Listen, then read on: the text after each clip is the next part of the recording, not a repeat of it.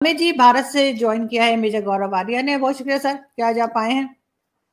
आप और आपकी एक वीडियो भी मैं देख रही थी चनाकिया फोरम हिंदी पे और उसमें आप ये कह रहे थे कि एस की जो समिट थी उसमें कश्मीर का नाम नहीं लिया गया और उसकी रीजन ये है क्योंकि चाइना ने मना कर दिया था। तो मुझे ये बताइए कि जब हम नाम लेते हैं तब भी प्रॉब्लम है नाम नहीं लेते तब भी आपको लग रहा है कि क्यों नाम नहीं लिया? तो आपको आप तो खुद कहते हैं कि जी कश्मीर को छोड़िए और आगे बढ़िए तो फिर आप इस तरह की बात क्यों कर रहे हैं?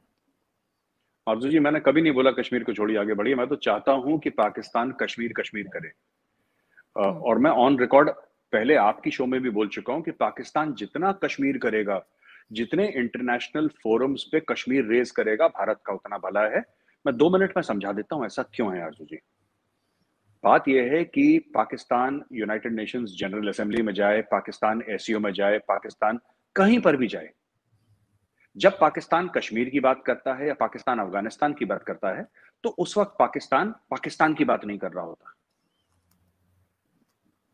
मैं तो चाहता हूँ, मैंने कभी ये नहीं बोला कि आप कश्मीर को छोड़िए। मैं सिर्फ़ एक एक एक सलाह के तौर पे मैंने बोला कि अगर मैं पाकिस्तानी होता तो मैं इकोनॉमिक डेवलपमेंट पे फोकस करता। मैं कश्मीर पर फोकस नहीं करता। मैं एजुकेशन हेल्थ केयर और इकोनॉमिक डेवलपमेंट पे फोकस करता। ये मैंने आपकी शो में एक बार बहुत पहले बोला था। लेकिन मैं एज एन इंडियन वो तो मैं अपने आप को उन शूज़ में डाल के उस उस लहजे से बोल रहा था, तरीके से बोल रहा था। लेकिन अगर एज एन इंडियन मैं चाहूँ, मैं तो चाहता हूँ कि आपके बिलावल भुट्टो जरदारी साहब हैं, आपके शहबाज शरीफ साहब हैं, ये सिर्फ़ कश्मीर की बात करें। ये कहीं पर भी जाएँ, ये सिर्फ़ कश्मीर की बात करें और कश्मीर की ही बात करते चले जाएँ। क्योंकि जितना ये कश्मीर की बात करेंगे, उतना ये पाकिस्तान की बात नहीं करेंगे।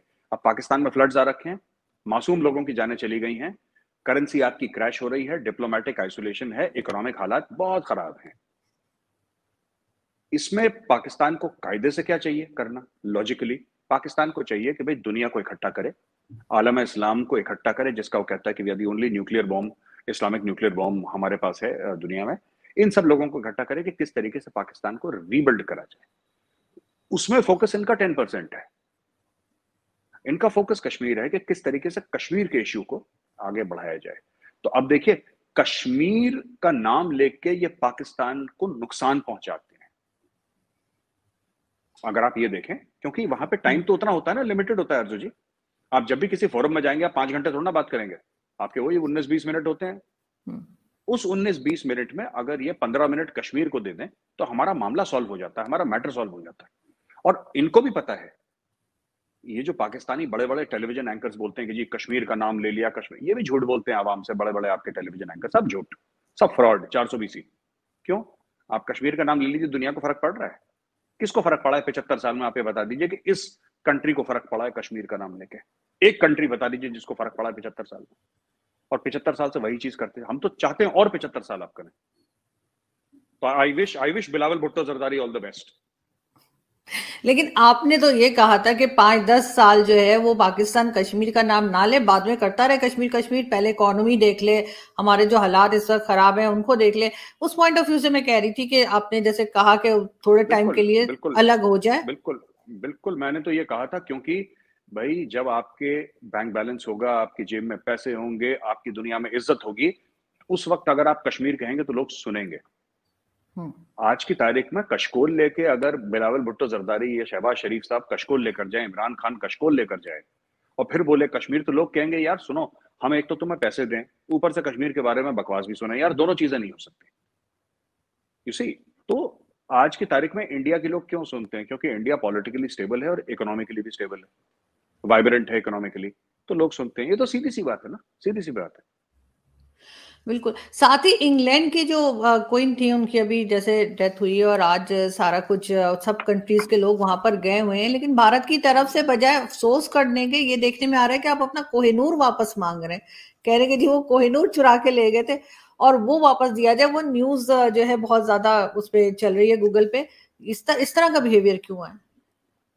नहीं ये हमारी सरकार का ये नहीं है हमारी गवर्नमेंट ने कोई ऐसा नहीं बोला कि कोहिनूर वा, कोहिनूर वापस का मुहिम तो बहुत पहले से चल रही है लेकिन हमारी गवर्नमेंट ने अभी कुछ नहीं बोला हमारी तो राष्ट्रपति वहाँ पे गई हैं। श्रीमती द्रौपदी मुर्मू जी वहाँ पे गई हैं संवेदनाएँ प्रकट करने के लिए कंडोलेंसेज देने के लिए she is in London and जहाँ पे भी the queen is lying in state वहाँ पे गई हैं यूके में और whichever city I am not sure कहाँ पे है बट वहाँ पे शी इज़ गॉन तो ये देखिए सोशल मीडिया सोशल मीडिया पे लोग दस चीज़ें कहते हैं।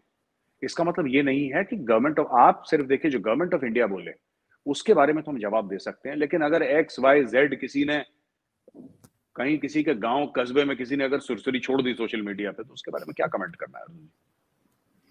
बिल्कुल ठीक। लेकिन अभी आगे भी एक ट्वेंटी थर्ड को जो है, एक मीटिंग और होने जा रही है। वो जैसे कि यूनाइटेड नेशन जनरल असेंबली की, उसको आप किस तरह से देख रहे हैं? आपको क्या ख्याल है कि वहाँ जाकर शहबाज शरीफ साहब क्या बात करेंगे? उन्होंने बात वही कर करेंगे। उन्होंने हम्म। है ही नहीं कुछ उसके बाद टॉपिक आप बताइए। देखिए ना बात यह है कि Shahbaz Sharif is an intelligent man Shahbaz Sharif एक अकलमंद आदमी है और शहबाज शरीफ के पास दस और टॉपिक हैं। इधर एस में उनको लिहाज करना पड़ा क्योंकि चाइना का एस जो है वो पूरा मामला चाइनीज़ है। हम्म। और चाइनीज़ ने डिसंगेजमेंट करी थी पीपी फिफ्टीन में या गोगरा हॉट स्प्रिंग्स एरिया में जो डिसंगेज करे थे ट्रुप्स इंडियन आर्मी ने भी डिसंगेज करे थे, वो इसीलिए करे थे क्योंकि वो चाह रहे थे कि प्रॉपर समिट हो जाए। चाइना अब इंडिया को छेड़ने के मूड में नहीं है। थोड़ा बहुत करता रहेगा, लेकिन पाकिस्तान के थ्रू छेड़ने के मूड इस वक्त में नहीं है चाइना क्योंकि चाइना खुद बहुत बुरी तरीके से फंसा हुआ है। तो ये, इनको तो एस में इन्होंने कश्मीर के बारे में बात नहीं करी। लेकिन यूएन जनरल असेंबली में ज़रूर है कश्मीर। इनके पास देखिए ना अर्जुन जी इनके पास कोई चॉइस नहीं है और कोई टॉपिक नहीं है। किसके बारे में बात करेंगे? थोड़ा बहुत बात कर लेंगे कि बाढ़ आ गई है क्लाइमेट चेंज के बारे में तो उन्होंने बोलना ही बोलना है क्योंकि इतनी बड़ी प्रॉब्लम आई है। दूसरी चीज़ they will talk about Kashmir. They will इनकी मजबूरी है।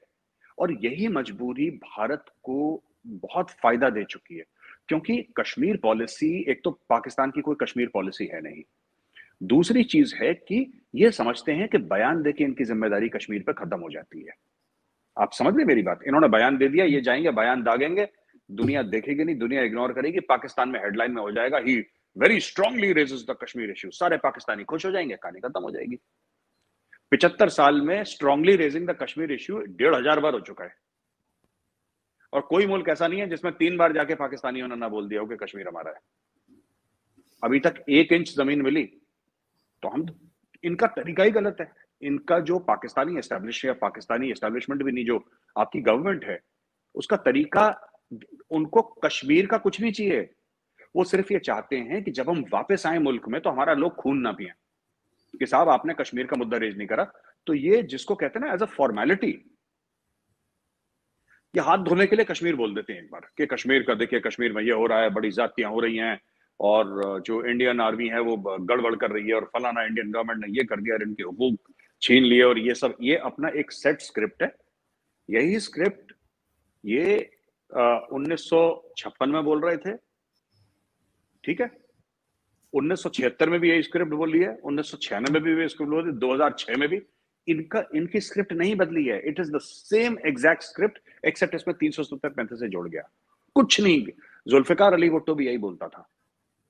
एक्जैक्टली द सेम उसकी बेटी ने भी वही बोला। अब उसका जो पोत उसका पोता है जुल्फिकार का। हम्म। या जो नाती है उसका जो भी है। और वो जाके भी बिलावल हम्म। नवासा वही बोलेगा वहाँ पे जाके। जो जुल्फिकार अली भुट्टो ने यूएन में बोला था सेम उसका नवासा जो है वहीं पे जाके वही चीज़ तो बोलेगा। तीन जनरेशन से यही बात बोल रहे हैं।